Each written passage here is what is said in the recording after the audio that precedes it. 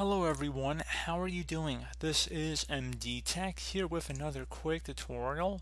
In today's tutorial, I'm going to show you guys how to resolve if the webcam is not showing up in Device Manager on your Windows computer.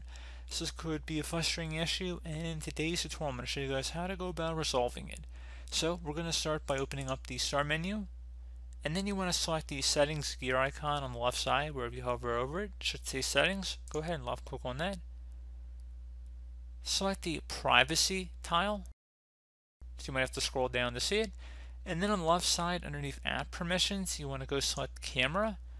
And if it says allow apps to access your camera and it's currently toggled to the off position, you want to go toggle to the on position. So just click inside the oval to turn it on.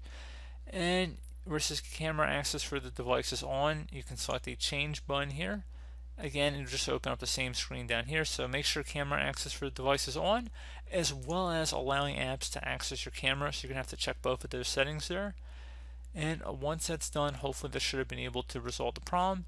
And if we were to close out of here, type in device manager and relaunch that, and then we were to search for hardware changes, it should appear here at that point. I don't have a camera hooked up, that's why it's not showing up in my list, but that just gives you an option there.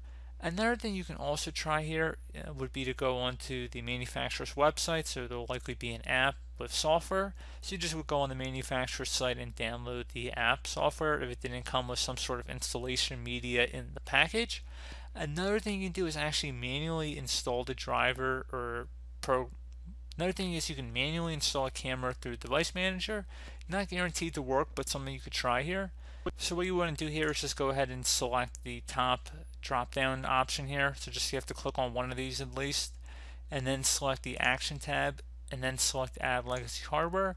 This will not be an option if you don't click on one of these options by the way so you have to click on something in order for that option to be available otherwise you click on the action tab and nothing will be on the drop down except for some help article which we really don't want.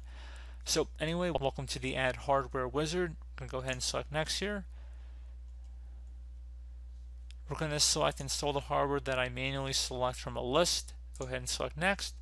Select cameras and then select next again.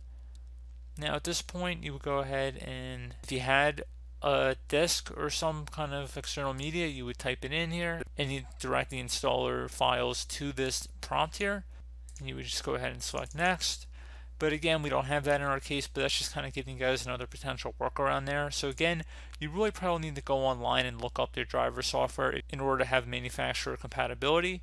So just giving you guys another option there to explore. So hopefully one of the methods I went through in today's tutorial should be able to resolve your problem.